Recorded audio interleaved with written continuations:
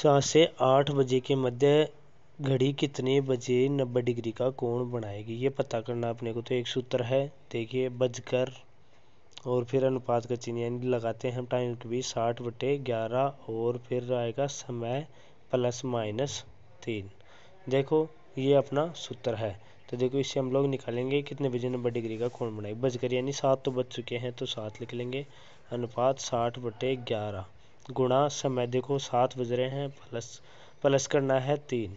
और देखो, सात और तीन कितने हो गए? दस हो गए। इधर हो जाएगा, सात अनुपात सात अनुपात, साठ गुणा दस हो गया।